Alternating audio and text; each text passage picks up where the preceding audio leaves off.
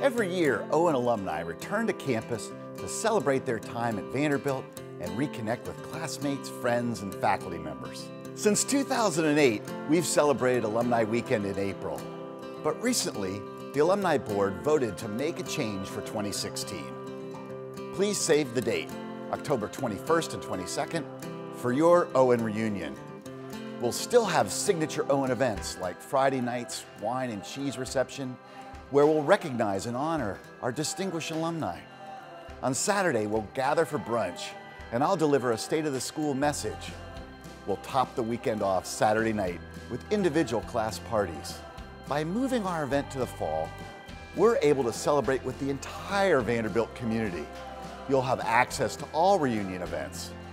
Friday's educational programs feature some of the university's top professors. And there's football and tailgating on Saturday. Keep an eye on the Owen Reunion website for all the details, and we'll see you in October.